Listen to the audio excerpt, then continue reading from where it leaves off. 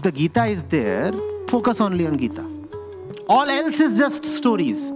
Gita is not a story. Gita is a philosophical document of the highest order. It is not storytelling.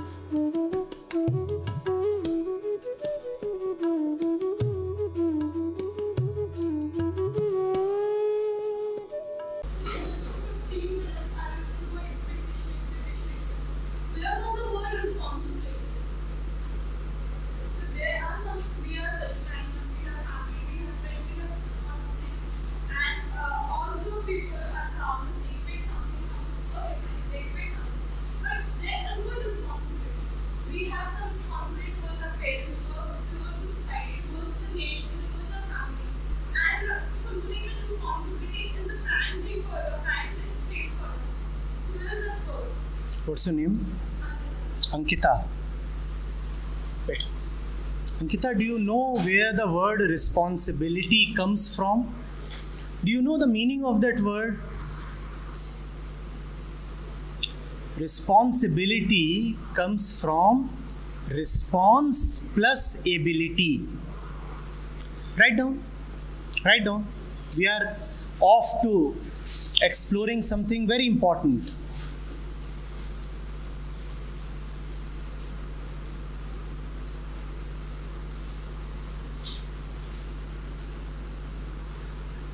First thing, responsibility means response plus ability, the ability to respond. The ability to respond. Remember, responsibility is not duty, it is the ability to respond. Now let's understand the react the difference between responding and reacting. So make a column response reaction. Divide the length into two columns response and reaction. Response comes out of the alive present. First point response comes out of the alive present. Reaction comes out reaction comes out from the dead conditioning and training of the past. Dead conditioning and training of the past.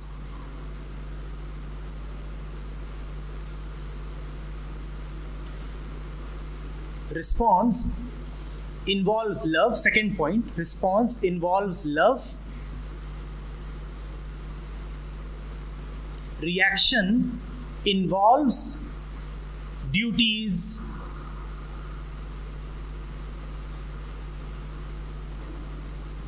configurations, habits.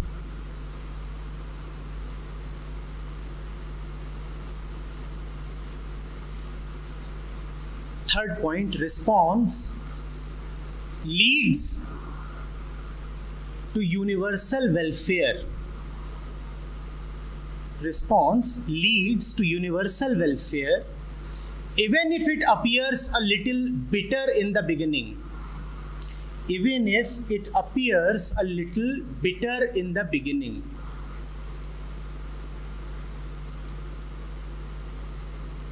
Reaction leads to universal suffering even if, even if it appears nice in the beginning reaction leads to universal suffering even if it appears a little nice in the beginning.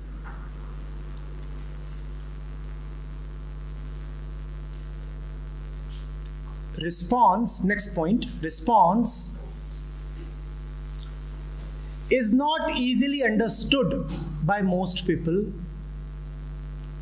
Response is not easily understood by most people.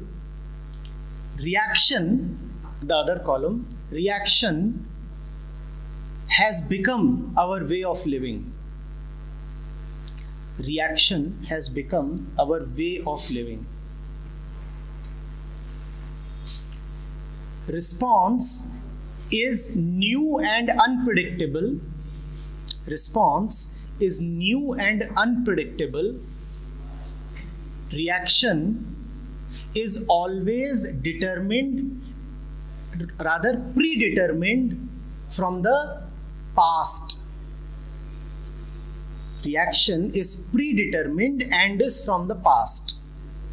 Reaction is predetermined and is from the past. Right?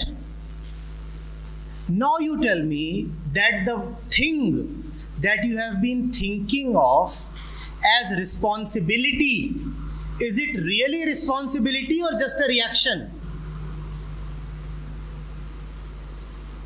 Because responsibility is never fixed. If somebody is telling you that it is responsibility to do this, then he is talking of reaction and conditioning, not responsibility. Responsibility means there is nothing on my mind except an inherent ability to respond when the situation comes.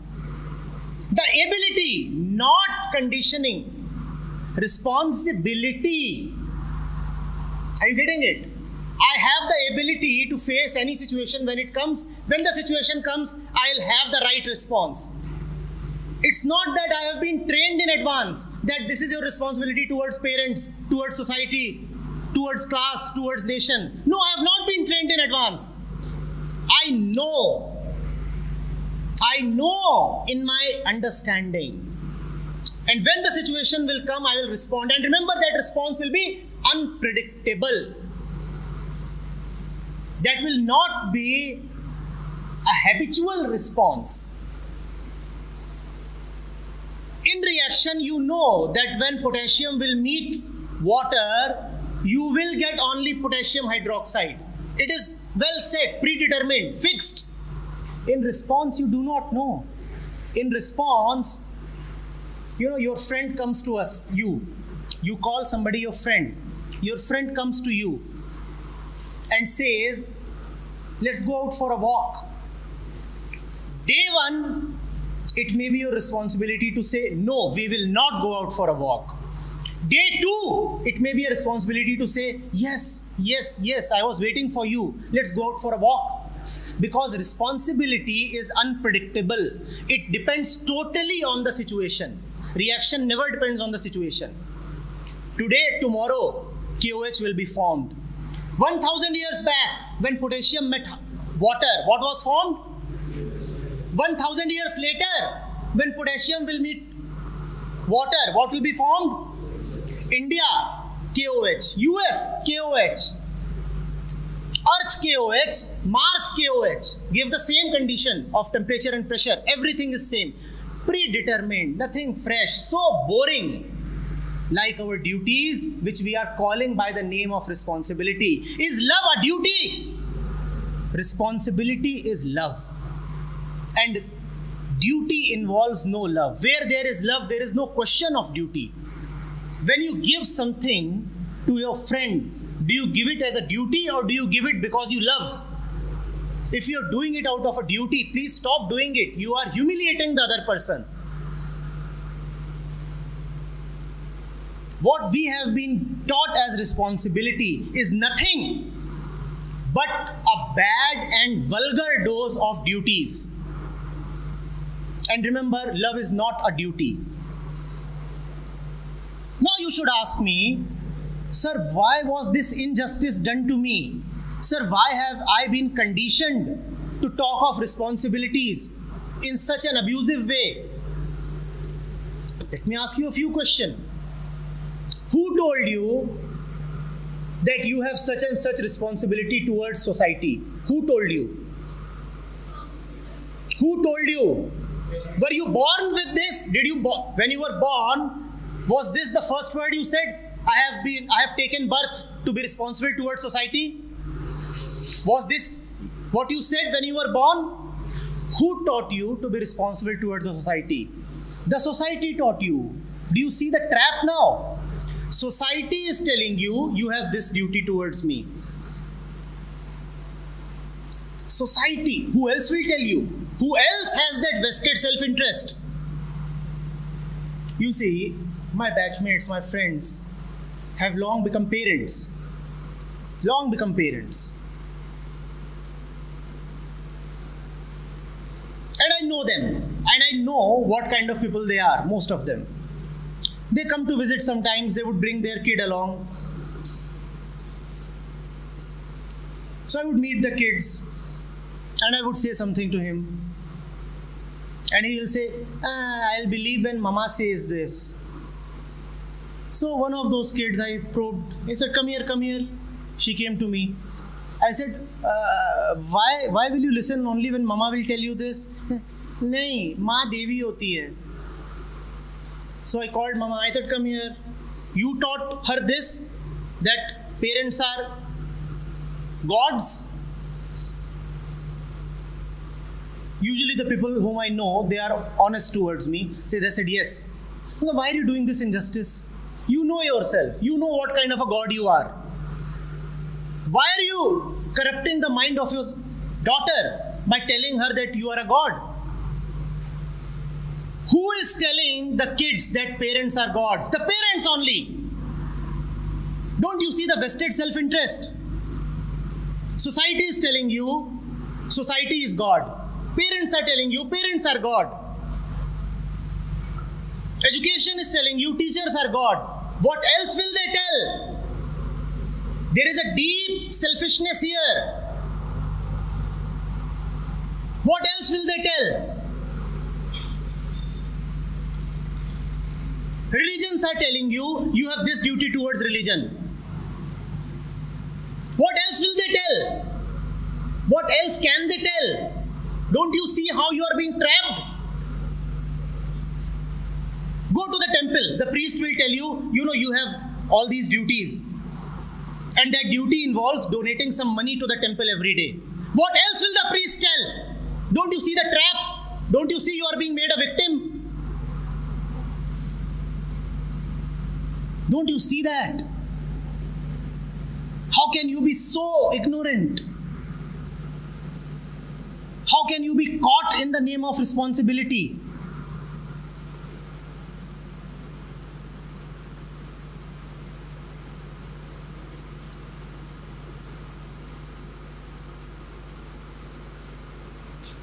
these beggars on the crossings. And you know, one day I heard one of them was saying, बेटा गरीबों को दान करना फर्ज है responsibility फर्ज duty who was saying this to me who is the garib at that moment what does he want to whom does the dan go Don't you see the trap how can you allow all this to dominate your mind How can you allow all this?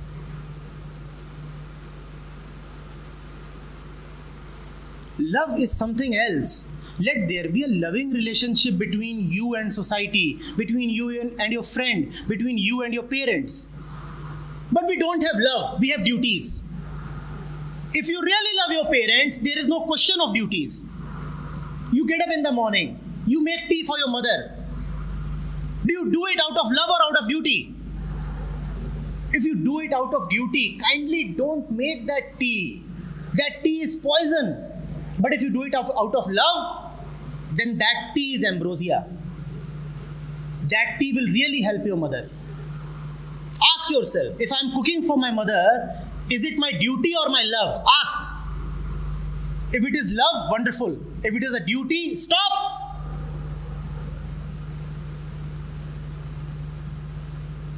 don't abuse the word responsibility. Responsibility is a beautiful word.